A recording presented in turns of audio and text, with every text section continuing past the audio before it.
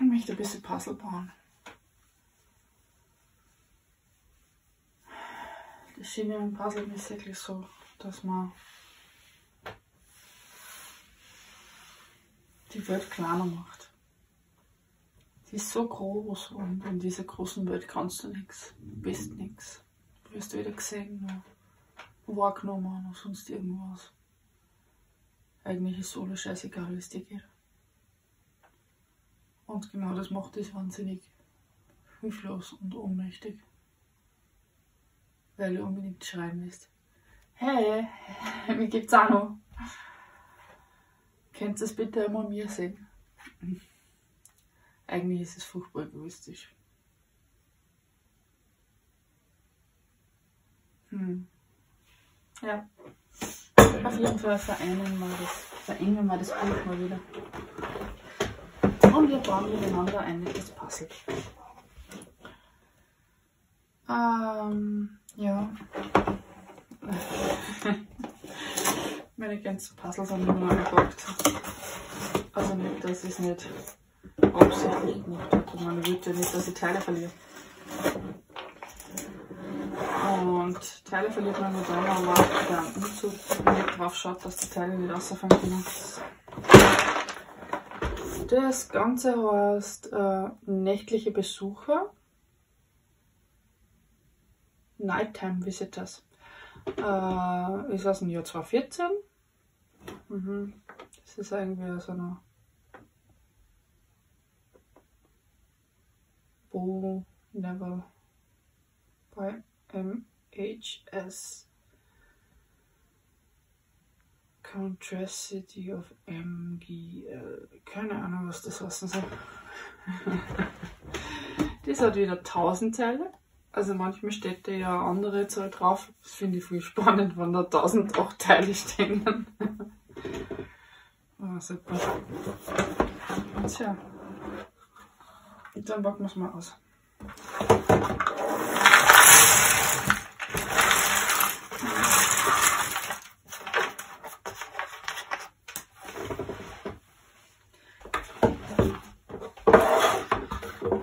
Es erst einmal gebaut.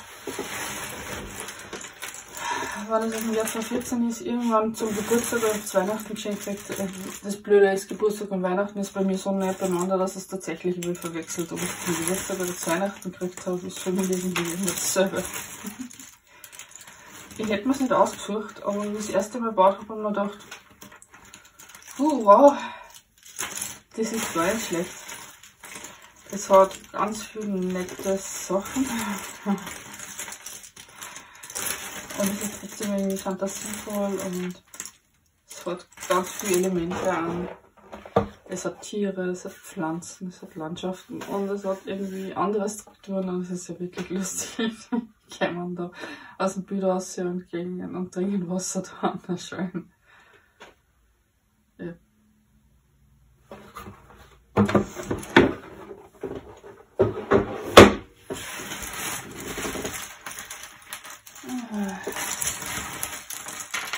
Vielleicht sortiere ich es halt wieder mal aus. Einfach weil man die grünen Bereiche, ich glaube, kann man ganz gut auseinander sortieren.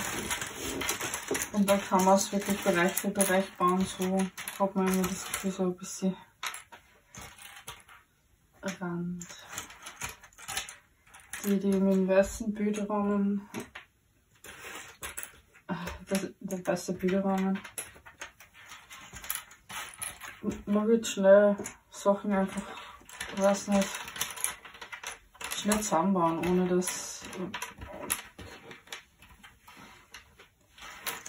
das äußere und das innere Bild sozusagen. Mal schauen, ob ich das überhaupt auseinandersortiert kriege. Aber ich glaube, das Rot vom Buch kann ich auf jeden Fall mal auf Zeiten legen. Und natürlich auch die vielen grünen Teile, die so als Hintergrund da sind, die kann man da sicher bis jetzt anlegen. So. Natürlich, damit die Randteile aber trotzdem separat. Und das ist halt also der Bilderrahmen auf der einen Seite und der Bilderrahmen auf der anderen Seite.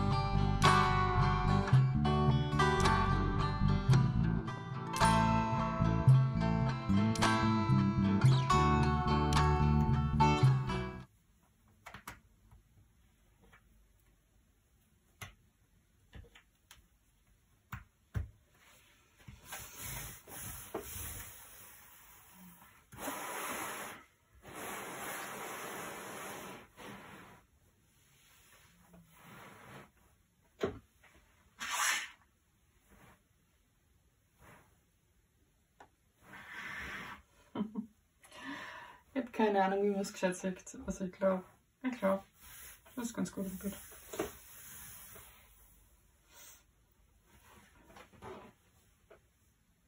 Das ist noch zu früh zum Resümee wo ich was soll man Resümee bei einem Puzzle bauen? Was ist ein Timelapse?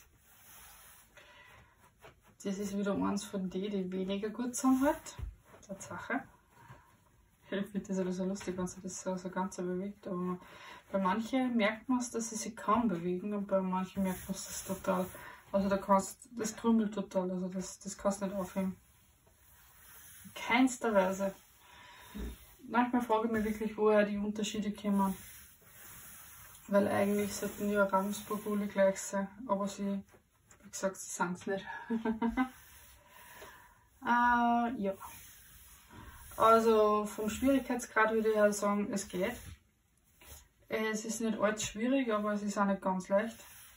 Ähm, vor allem das Bild, also der Hintergrund und die Bäume da herum ist mir so wirklich ein bisschen, obwohl da habe ich auch nicht mehr eine halbe Stunde braucht. Wenn man es reduziert auf die Teile, dann, dann geht es schon. Aber da braucht man schon eine Zeit lang. Also wenn ich es nicht sortiert hätte und ähm, natürlich, die Baum, das sind schöne Strukturen. Wenn du nach, nach der Vorlage arbeitest, dann wird man wahrscheinlich auch das relativ schnell lösen können. Aber wie gesagt, ich arbeite immer ohne Vorlage und deswegen war es schon ein bisschen tricky, verschiedene Äste-Strukturen, wo welche Baum sind, äh, zu finden. Obwohl der also vordere Bereich, den habe ich ganz am Anfang schon gebaut gehabt. Äh, der lässt sich relativ schnell aussortieren und es lässt sich auch wahnsinnig schnell vor allem weil die ganzen Tiere dazwischen sind. Also da ist von dem einen Tier zu dem nächsten und zu, von dem nächsten Tier zu dem anderen und ja, die Zebras sind voll lustig zum Bauen. Also Zebras sind sowieso schnell zum Aussuchen. Man sieht, äh, man hat 1, 2, 3, 4. Das vierte habe ich am Anfang nicht gewusst, wo ich die siedern muss, bis ich drauf gekommen bin, ah, der trinkt das so Schwein. Der ist schon herunten. Aber das war war auch krass, also die Zebras sind voll lustig gewesen, finde ich. Ich mag Zebras sowieso zum Bauen, sie sind so schwarz-weiß. ja, und die Giraffen, da gibt es ja nicht eine, also da ist es schwierig zum irgendwas falsch machen. Also die Knus, die da dazwischen sind, sind auch, ah, da geht das Knull rein. Und der Löwe, das habe ich am Anfang nicht gecheckt, dass der da am Buch ist, der teilt sozusagen das Buch. Das Buch kann man voll schön aussortieren und das ist voll super zum Bauen. Ja, das Monokel mit dem Brief, da habe ich ein paar Teile verbuchselt mit da und da. Aber es war nicht so tragisch. Und wie gesagt, es lässt sich wirklich was schön aussortieren. Selbst die Teile waren nicht wahnsinnig. Dadurch, dass nicht viel sind und da die, die Shade aufgeht, man sieht da auch immer noch ein bisschen einen Unterschied. Das ist nicht, nicht viel gewesen und das war dazwischen so einmal, ich sortiere es und mache das mal und es war, war relativ wenig und einfach. Die Elefanten haben mir teilweise ein bisschen mehr sagen gekostet, weil ich nicht gewusst habe, wie die angehören, wie die Dinge gehören, wie die Rüssel gehören. Die haben ganz viel gleiche Farben und gehört der jetzt daher, daher oder dort her oder daher. Also die waren ein bisschen gefinkelter. Ja. Aber ansonsten ist es relativ schnell zusammengegangen. Es ist immer so gewesen, dass ich bauen habe können. Also äh, ich glaube, für einen Anfänger mag es sein, dass es ein bisschen schwierig ist, aber in Wahrheit kann man alles gut sortieren. Man kann es erst den Rand bauen, man kann sie an die Randteile, man kann sie da mal dran bauen. Da kannst du sich schön aussortieren. Die Sachen da, die werden am Schluss, aber die, wie gesagt, die sind ja nicht einmal eine Handvoll Teile. so 100 bis 50 Teile, die, die lassen sich relativ schnell wieder reinpuzzeln. Also da ist vielleicht super, wenn man ein Gemeinschaftsprojekt hat, die Kinder machen die Tiere, die Mama macht, also wenn die Mama gut Puzzle bauen kann, oder der Papa, dann macht er das Äußere, den Rahmen kann man schön bauen, das ist, die Zebras sind viel super und insgesamt ist das Bild eigentlich wirklich schön, weil die, die, die Tiere aus dem Bild kommen und, und, und der echten Welt sozusagen auf dem Buch am Schreibtisch die Wasserschein dringen. Das musste es voll lieben. Also das Motiv ist recht schön. Auch relativ einfach zu bauen. Also wie ich das erste Mal gebaut habe, habe ich mir gedacht, äh, hätte mir nicht gedacht, dass es so viel Spaß macht, weil ich wirklich, also das habe ich mir nicht selber ausgesucht, das habe ich geschenkt gekriegt und bei solchen Sachen denke ich mir, naja, okay, also ich habe es nicht selber ausgesucht, aber das Bauen macht echt Spaß, also guter Geschmack beim Aussuchen. Okay, dann würde ich sagen, äh, auf zum nächsten Happy Hoppy allerseits und tschüss, bis zum nächsten Video.